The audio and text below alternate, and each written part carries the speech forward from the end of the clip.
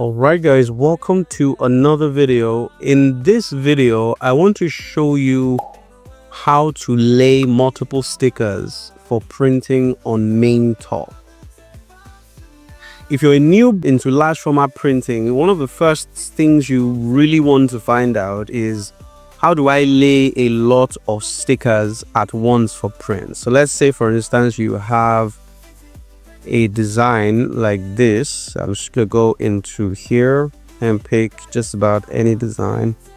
Let's say i pick this dark one. I load it up. Now let's say the sticker you want to print is a two by two inch sticker. I know it's two by two inches because if i click on this button right here and this button at the bottom of here i want to set here as two by 2. So that's how I know it's 2 by 2 inches, not because of the file. Now, so this is a 2 by 2 inch. Now, the page setup for this particular uh, print, if you go to File, Page Setup, you see 24 inch by 24 inch. One thing you need to know is that Maintop is always coded in inches, not in feet. So there's really no way to do feet in Maintop. You only have to do inches or millimeters. So the size of this job is 24 inches by 24 inches. If I zoom out, I'll see how small 2 inch is in a 24 inch by 24 inch grid. Now, I have a 2 by 2 inch sticker and I want to have it fill up 24 by 24 in 24 by 24 inch. All right. The easiest way to do that would be to go to calculator and uh, click open. And then first divide 24 by 2, you have 12.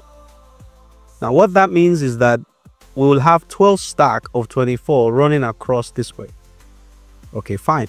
So how do we do that efficiently? Are we supposed to copy like this and then be pasting it multiple times? In Maintop, that's one of the ways you can do it. So if you, like I pasted like that, I've copied and I've pasted a couple more times. If I select everything that I've pasted, and then I come to this point over here, you'll see the next button to it. It shows you three dots with one in the middle. That's telling you an horizontal distribution. I could set a number here that would be the space in between each of the filings. In this case, we have 0.03 inches. That's really small.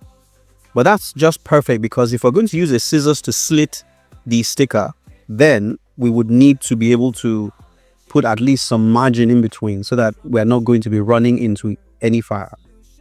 So once you have set whatever size you want, you can then press this button and then that will distribute all of those stickers across the entire space. So now you can select the excess and then throw it out and then you now have this many. To ensure that all the files are starting at the right position vertically, you press this button to align all of them to the top. This button again, I say. So then you zoom out. Having selected all of them together, now we need to know how many stack will go down this way. Well, if we go back to our calculator again, we already know we'll have 12 pieces of 2 in 24.